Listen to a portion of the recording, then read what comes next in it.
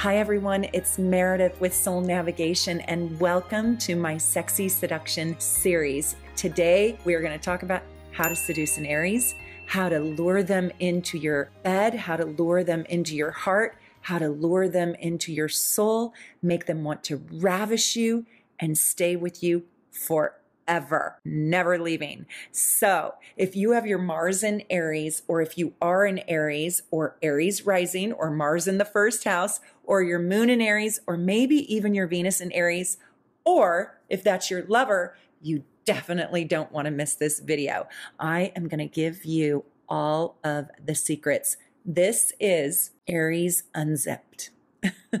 In this video, I am going to teach you the top nine seduction techniques. When you do these techniques, I promise you, your Aries is going to be so enthralled, invigorated, inspired by you. So, how do you keep your Aries always coming back for more and sexually stimulated and satisfied forever? We're going to explore it. First, you have to understand that Aries comes with a lot of bold, brazen passion. They're really direct in their sexual pursuits and they know how to chase.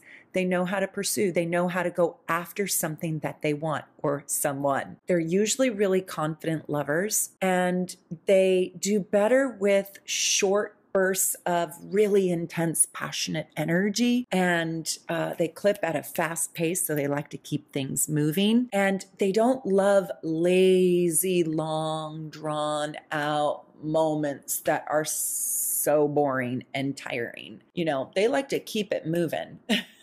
They're not the easiest people to get a commitment from. But if you do these nine seduction techniques, I am confident you can keep your Aries satisfied their whole life long. Okay, so you're going to want to listen to this video all the way through because you need all nine of these techniques. And don't miss the last secret tip because I always save the best for last. And that's how you can win your Aries over. Bring your sense of humor. No pun intended here, but I do tongue in cheek sense of humor sometimes. So just forgive me. I kind of believe in the truth in humor. So I put a lot of humor into my truth, but I'm still truthful. Also, if you're an Aries and you can't relate to this video, please tell me what your Mars sign is. If you don't know your Mars sign, you can always buy a natal chart from me. I don't know, it's so inexpensive. I've been an evolutionary astrologer for 23 years. I have a really busy practice and I just started doing these videos in hopes that I could really teach other people and share my knowledge with you. So I hope you enjoy this video. Sit back, enjoy. I got my Libra mug for my Aries video because Aries can always use a little touch of Libra. So if you're dating an Aries or if you're married to an Aries or you've lost the lust for your partner and you're an Aries or they're an Aries, well, show them this video for sure. Or if you just have a crush or you're trying to launch something with an Aries, Aries. It's not simple. Aries are kind of complicated. Oh, by the way, I just saw my background. We're ready for Halloween. I don't always have bats up on my uh, fireplace, but my little daughter, she's so darling. She um, has decorated this whole entire house, and it's actually quite festive. First, I'm going to tell you Aries aphrodisiac. You probably already know it. Are you ready? Dun dun dun. Confidence.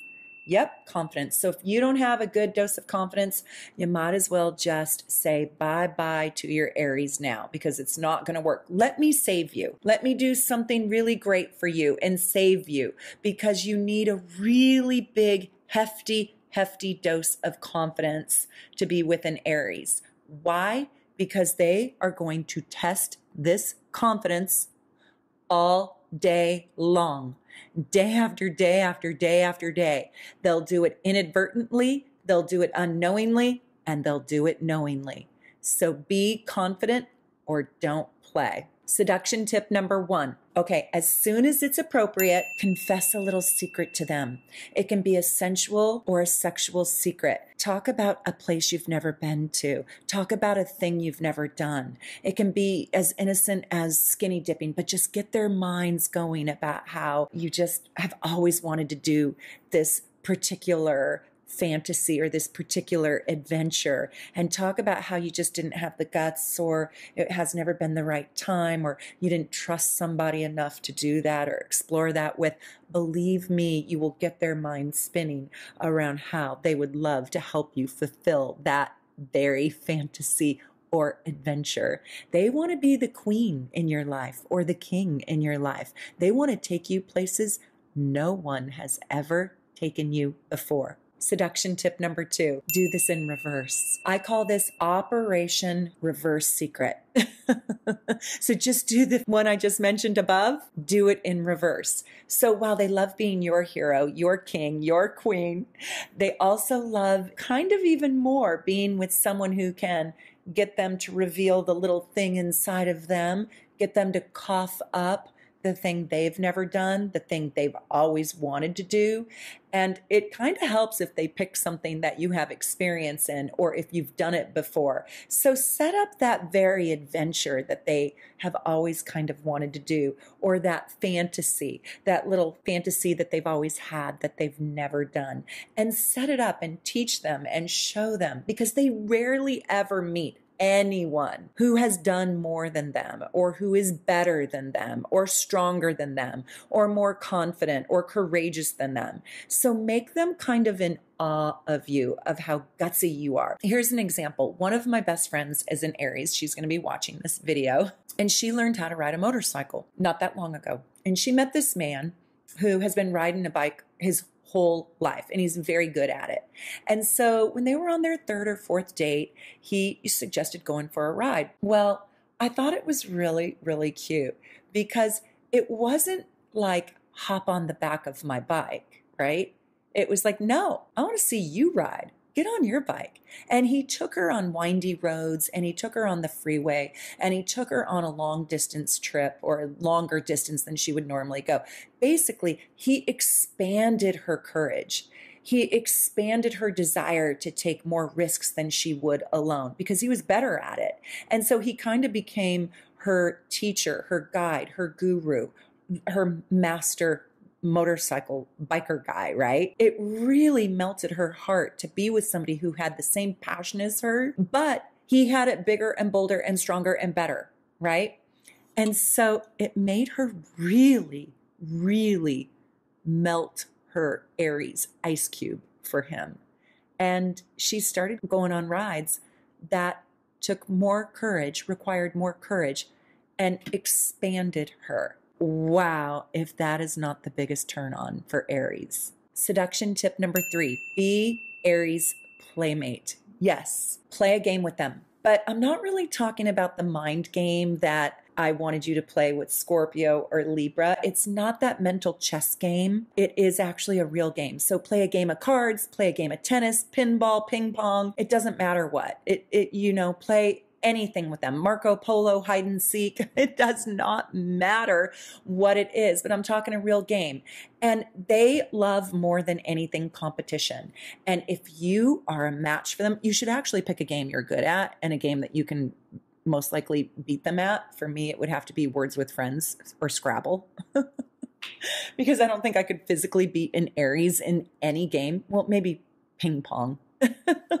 But, anyways, if you're a match for them, not only are they going to want to sleep with you, they are going to crave you and, most importantly, respect you. They will see you as so powerful. And Aries can only stay attracted to someone who has real power. So it's actually kind of a good thing if you can beat them. Just don't make them lose their dignity. Don't make them lose, you know, their their their strength and powerful facade, I should say. Don't rub it in their face, you know.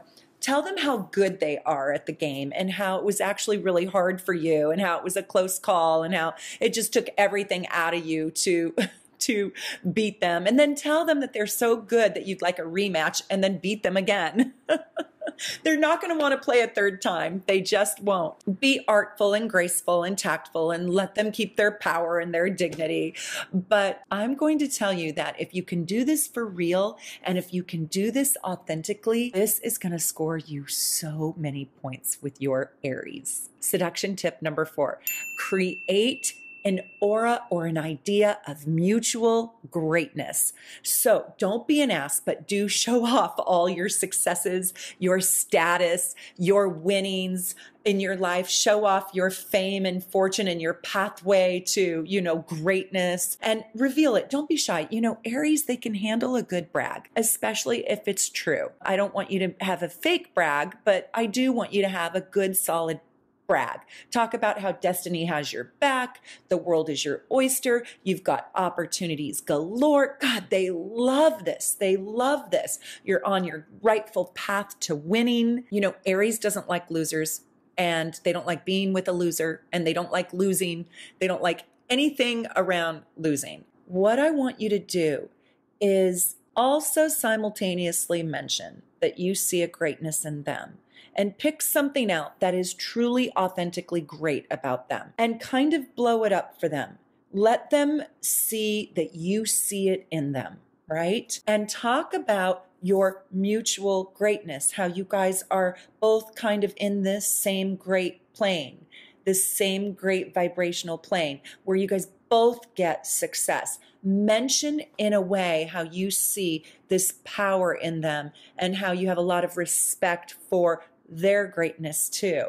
And talk about your combined greatness so they start to see that you are their equal. I should let you know that you have to take the entire chart into consideration. And there's over 40,000 different aspects. You have to look at all of the planets. When you're looking at compatibility, I do look at Mars, but I do also look at the moon and I look at your communication planets of Mercury and I see how it all unfolds together. And I am a love and relationship expert. But if you can't get on my calendar because it is pretty packed and I book a couple months in advance, but you want the best love and relationships report on the market, just scroll down below, go on to my online scheduler, and you can order the love and relationship compatibility report right there. It's so inexpensive. And if you have both people's birth times, oh my God, it will blow you away. You'll see the perspective from your partner's point of view, and you'll also see the relationship through your point of view. It is so, so good. And you can't find this report in very many places. It's not out there on Astrodienst. It is so darn good. You'll want this report. Okay, seduction tip number five be an asset to them. You have to present yourself as an asset to their ego, and their ego ain't no small thing, right?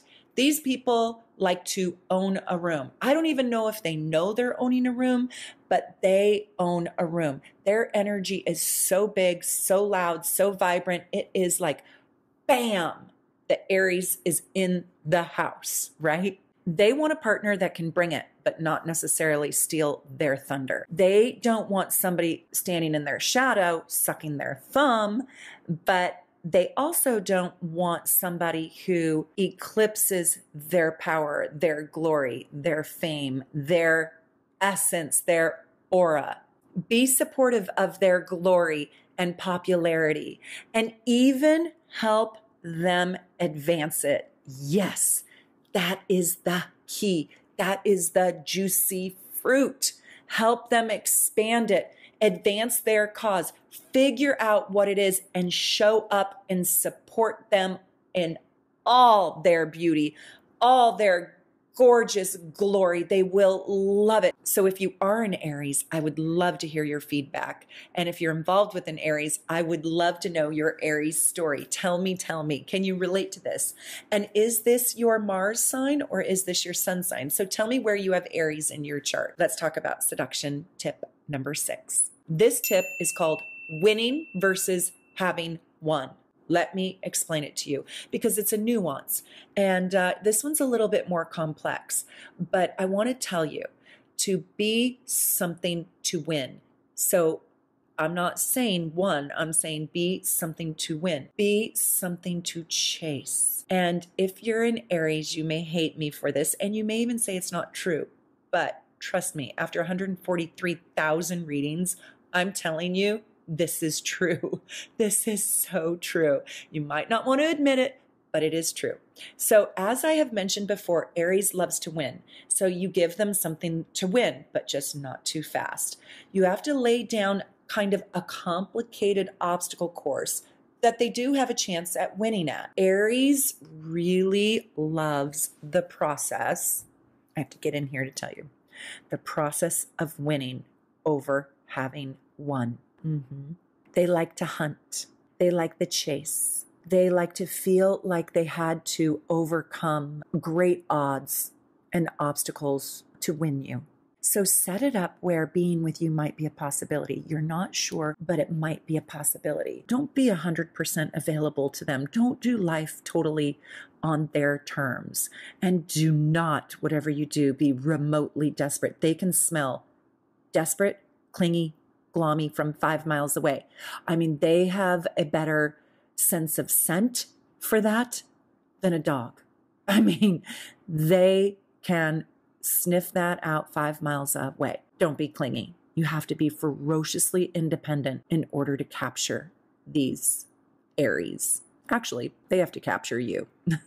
They're the hunter. So you be busy with your courageous, badass life, and you do not want them to think that you're waiting around for them. So you're not letting them know that you want to be with them. You're just being sexy as hell and you are hard to have. Let them pursue you, let them chase you, let them call you, let them text you. Why? Because they can, they're capable.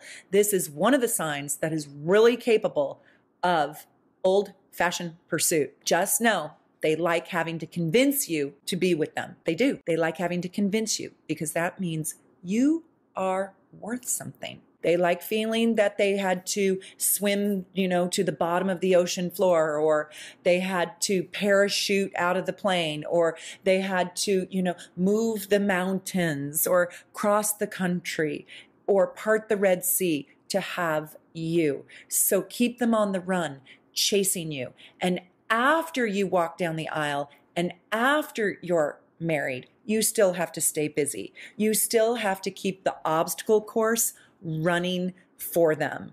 Otherwise, they will lose interest and they will get bored. Once they've captured you, they can't hold on to the curiosity about you as well. So you have to kind of keep them in perpetual motion, wanting to have you, getting closer and closer and closer and closer to getting you. If they get you too quickly, they won't value you. Now, you might be with an Aries that tries to go really fast. Don't do it because all Aries, they're so charming. They have so much charisma. They have confidence and they usually can get you undressed pretty quickly. And I'm telling you right now, don't do it. Not if you like them. If you like them and you want them to call you in the morning, you have got to have them run the obstacle course in order to maybe win you. But once you're won, well, then it's a different game. So don't let them completely win you. It's always a process, right? It's always a verb with them. Keep them pursuing, chasing, running, right? My seduction tip number seven. And this tip's a little bit sick. So forgive me. I'll warn you before I say it, but just trust me it does work. Let them believe, and this is better if it is authentic. I don't suggest playing games, and I do suggest that if this is authentic and genuinely you, and Aries is perfect for you. But if your relationship has kind of gone south and you need a little bit of um, spice, this is really good. So you can revive a relationship with an Aries too by implementing these tips. So let them believe that their incredible, fabulous, powerful, courageous self is the normal standard for you. They are eh, what you're used to. I don't care how amazing this Aries is. Make them feel a little bit average or normal in your opinion. Give them only tiny compliments at first and be interesting, but not too interested in them. Don't be overly fascinated with them. You know, don't let them know that you think they are so sexy or so brilliant or the best thing you've ever known. Do not give them that because if you give them all those compliments too quick, too big, too fast, they will lose interest in you. act as if their greatest accomplishment or their sexy body is the normal standard. Eh, it's okay. And don't buy into their big ego trip. And we know they have a big ego. They can get all of those compliments from you in time. But for right now, they have to earn your compliments. They have to earn them. I don't care if this is Russell Crowe or James Franco or Marlon Brando or Steven Tyler. I don't care how incredible this person is. If you want your Aries, you have to keep your feelings to yourself and do not talk about being soulmates until after you've walked down the aisle. We need to dole these out in time, over time. So, are you an Aries and can you relate to any of this?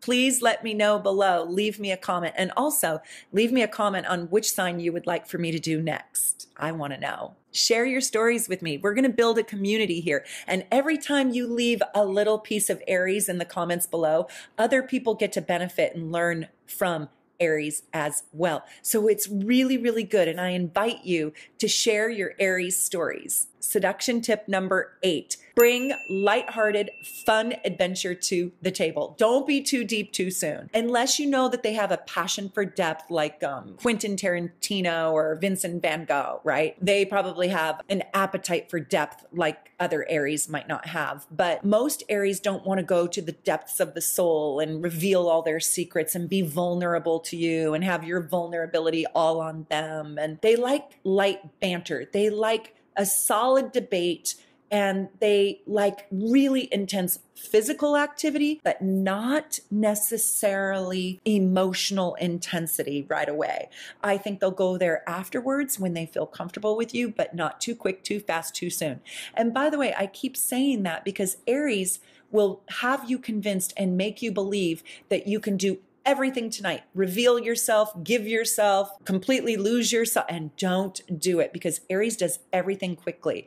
And you need to resist that speed, and they will come at you with powerful speed. They love adventure. They love laughter. See, I think Aries are so tightly wound in their day because uh, they are on the battlefield of life. I mean, they are out there fighting little miniature, mini, and sometimes really big wars all day long, that they like to come home or they like to escape into a lighthearted playfulness. You can help them escape all those battles that they're fighting in their individual lives.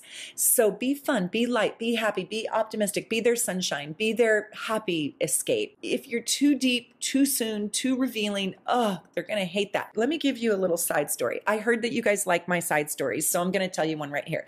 I'm going to tell you how I lost my Aries.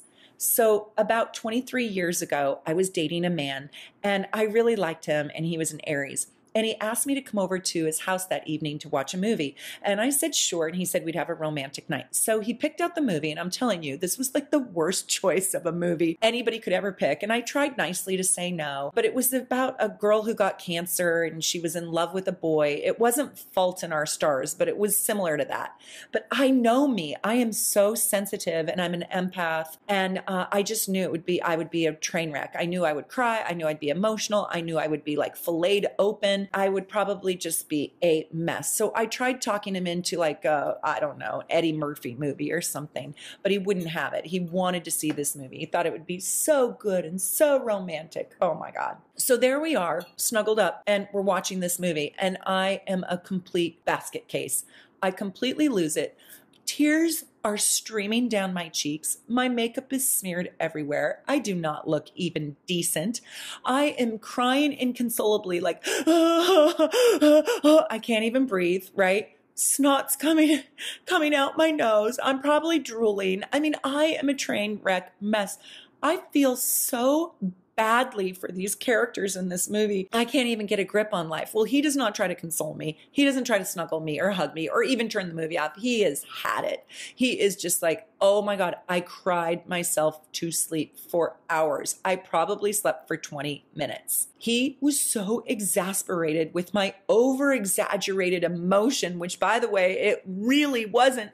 I really felt those things that I was just complete goner. I mean, just inconsolable train wreck basket case of emotions. And I wanted to talk about the depth of this movie and the gut wrenching pain. Oh my God, I found the guy eating spaghetti O's out in the kitchen because he could not deal with me. And that's how I lost my Aries. He literally wrote me a Dear John note and sent it in the mail. Yeah, snail mail. Mm-hmm. And I never saw him again. I have never seen him again. Can you believe that? Anyways, it is actually a good story because I moved on and I got a much better deal in life and I'm really happy. But Aries cannot go there that deep they don't have a bandwidth for that right away. You have to earn that vulnerable emotional space in their heart. They will not go there right away. Nope. Hey, by the way, if you really want to know about Aries, go check out my Aries rising video. It's pretty deep. I think if you've seen some of my videos now, you know that I like to break down the stereotypical stereotypes of signs and I like to go deep, deep, deep, deep into the core. I like to peel the onion and dig in and get that succulent truth out. And I like to I like to break up the myths and I like to tell you the truth. So go check out that video or my Everything Aries video. I think you'll really, really like it. Number nine, this is my most important tip. Are you ready? It's so easy that it's hard. And it's hard in the moment because Aries are so powerful. You must do this. If you can't do this, you can't be with an Aries you have to stand up for yourself. You have to. Like I said before, love is a battlefield for Aries. It is never smooth sailing. If you are an Aries, would you please tell me and everyone else if your love life has just been super simple? Super easy. I don't know an Aries that has gotten it super easy and super simple in loving another person. It just doesn't go that way for them. Love, it's just too intense. And so to them, if you can stand up to them and to the world at large, this is so hot. They will fall madly, passionately in love with you. Secondly, they'll respect you. And Aries must respect their partner to fall in love with you. They don't have to respect you to have sex with you, but they have to respect you to make a deep commitment to you. They have to realize that they cannot steamroll you, they cannot walk all over you, they don't get to have their way all the time, and that you can handle them and you can handle your own. If they can manipulate you, trick you, get your clothes off fast, get out all your secrets super fast, get you to emote, get you to confess how great they are too quick, too fast, too soon. You can't say no, thank you. If they can twist your morals, twist your values, um, so you don't really believe what you say, but you give them their way, and believe me, they will test you.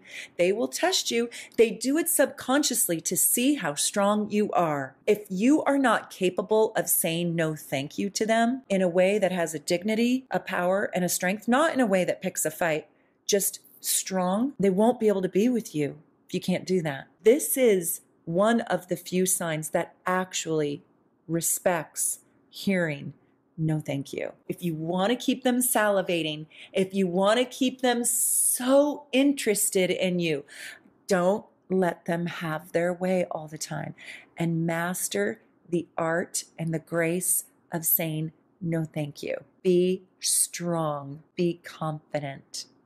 Now, if you're watching this video after January 2020, I want to recommend to you that you go check out all my ebooks because I'm in the process of writing them and they'll be ready after January 2020. You can go check the link in my notes below for them if you want more information. If you're just so hungry for understanding more about love and relationships and the psyche inside the soul of all of these different zodiac signs check out my ebook series. I think you'll really love it. So tell me your sun sign, tell me your Mars sign, your rising sign, and your Aries stories, and leave me a comment here.